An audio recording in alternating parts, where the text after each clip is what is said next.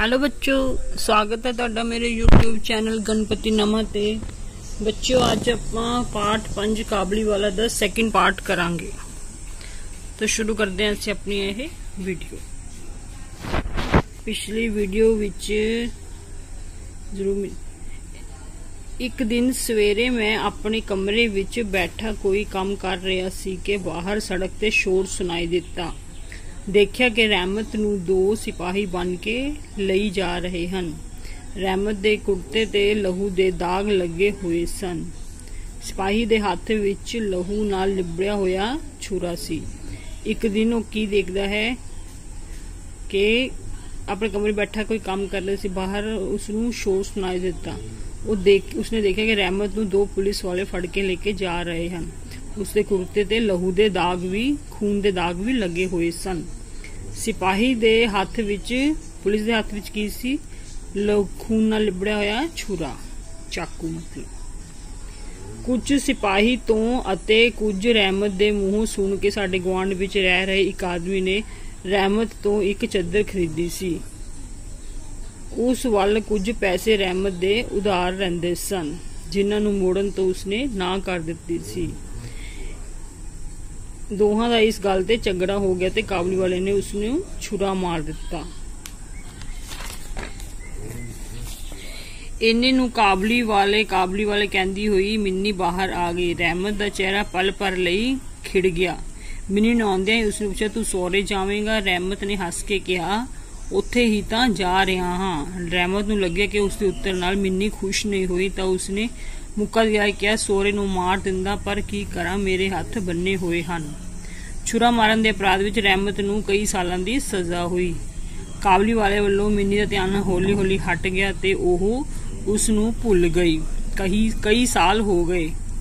ਅੱਜ ਮੇਰੀ ਮਿੰਨੀ ਦਾ ਵਿਆਹ ਹੈ। ਲੋਕ ਆ ਜਾ ਰਹੇ ਸਨ। ਮੈਂ ਆਪਣੇ ਕਮਰੇ 'ਚ ਬੈਠਾ, ਖਰਚੇ ਦਾ ਹਿਸਾਬ ਲਿਖ ਰਿਹਾ ਸੀ। ਕੀ ਦੇਖਦਾ ਹਾਂ, ਰਹਿਮਤ ਸਾਹਮਣੇ ਖੜਾ ਸਲਾਮ ਕਰ ਰਿਹਾ ਹੈ। ਪਹਿਲਾਂ ਤਾਂ ਮੈਂ ਉਸ ਨੂੰ ਪਛਾਣ ਨਹੀਂ ਸਕਿਆ, ਕਿਉਂਕਿ ਉਹ ਕਈ ਸਾਲ ਜੇਲ੍ਹ ਵਿੱਚ ਰਹਿ ਕੇ ਆਇਆ ਸੀ, ਆਪਣੇ ਅਪਰਾਧ ਦੀ ਸਜ਼ਾ ਪਿੱਛੇ। ਉਹ ਉਸ ਕੋਲ ਨਾ ਤਾਂ ਬੋਰੀ ਸੀ, ਨਾ ਹੀ ਚਿਹਰੇ ਉੱਤੇ ਪਹਿਲੇ ਵਰਗੀ ਖੁਸ਼ੀ। ਬੜੇ ਗੌਰ ਗਹੋ ਨਾਲ ਦੇਖ ਕੇ ਪਤਾ ਚੱਲਿਆ ਕਿ ਉਹ ਰਹਿਮਤ ਹੈ। ਮਤਲਬ ਬੜੇ ਧਿਆਨ ਨਾਲ ਦੇਖਿਆ ਉਸਨੇ। ਤੁਹਾਨੂੰ ਪਤਾ ਚੱਲਿਆ ਕਿ ਇਹੀ ਰਹਿਮਤ ਹੈ। ਮੈਂ ਪੁੱਛਿਆ ਕਿਉਂ ਰਹਿਮਤ? ਕਦੋਂ ਆਇਆ ਹੈ? ਕੱਲ ਹੀ ਸ਼ਾਮ ਜੇਲ੍ਹ ਤੋਂ ਛੁੱਟਿਆ ਹਾਂ, ਉਸਨੇ ਦੱਸਿਆ। ਮੈਂ ਉਸ ਨੂੰ ਕਿਹਾ, ਅੱਜ ਮੇਰੇ ਘਰ ਵਿੱਚ ਇੱਕ ਜ਼ਰੂਰੀ ਕੰਮ ਹੈ। ਮੈਂ ਉਸ ਵਿੱਚ ਬਹੁਤ ਰੁੱਝਿਆ ਹੋਇਆ ਹਾਂ। ਅੱਜ ਤੂੰ ਚਲਾ ਜਾ, ਫਿਰ ਕਦੇ ਆਈ। ਉਹ ਉਦਾਸ ਹੋ ਕੇ ਜਾਣ ਲੱਗਿਆ। ਪਰ ਦਰਵਾਜ਼ੇ ਕੋਲ ਕੁਰ ਰੁਕ ਕੇ ਕੁਝ ਜ਼ਿਕਦਾਰ ਜਿਹਾ ਬੋਲਿਆ ਕਿ ਮੈਂ ਜ਼ਰਾ ਬੱਚੀ ਨੂੰ ਨਹੀਂ ਦੇਖ ਸਕਦਾ। ਸ਼ਾਇਦ ਉਸ ਨੂੰ ਯਕੀਨ ਸੀ ਕਿ ਮਿੰਨੀ ਹੁਣ ਵੀ ਪਹਿਲਾਂ ਵਰਗੀ ਨਿੱਕੀ ਜਹੀ ਬੱਚੀ ਹੀ ਹੈ। ਉਹ ਪਹਿਲਾਂ ਵਾਂਗ ਹੀ ਕਾਬਲੀ ਵਾਲੇ, ਉਹ ਕਾਬਲੀ ਵਾਲੇ ਪੁਕਾਰ ਦੀ ਭੱਜੀ ਆਵੇਗੀ। ਉਹਨਾਂ ਦੋਹਾਂ ਦੇ ਪੁਰਾਣੇ ਹਾਸੇ ਤੇ ਗੱਲਬਾਤ ਵਿੱਚ ਕੋਈ ਝਿਜਕ, ਰੁਕਾਵਟ ਨਹੀਂ ਆਵੇਗੀ।